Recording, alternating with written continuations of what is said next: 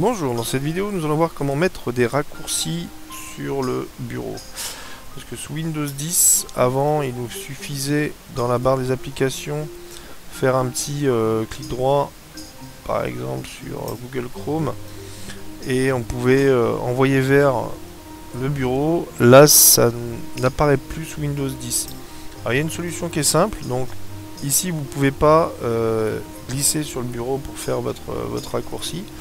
Par contre, vous avez deux possibilités. C'est soit vous le prenez ici dans l'écran de démarrage en fait, en, maintenant cliquer le, bouton gauche. Vous pouvez le déposer sur le bureau et ça va vous créer un, raccourci. Sinon, vous allez chercher votre programme s'il n'est pas dans l'écran de démarrage.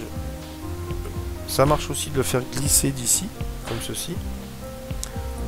Ou sinon, la troisième possibilité, ça va être donc de faire un clic droit,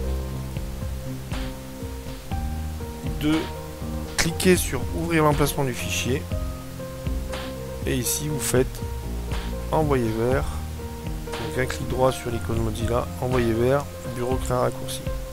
L'avantage de faire ça, c'est qu'en fait vous vous retrouvez dans, dans l'ancien menu démarrer de, Windows, et du coup là vous avez tout vos raccourcis, donc en une fois, vous pouvez, euh, vous pouvez tous les faire. Euh, vous les prenez, tous ceux que vous voulez sur le bureau, et en une fois, c'est fait. Quoi. Voilà. Cette vidéo est maintenant terminée. Je vous remercie de l'avoir suivi. A bientôt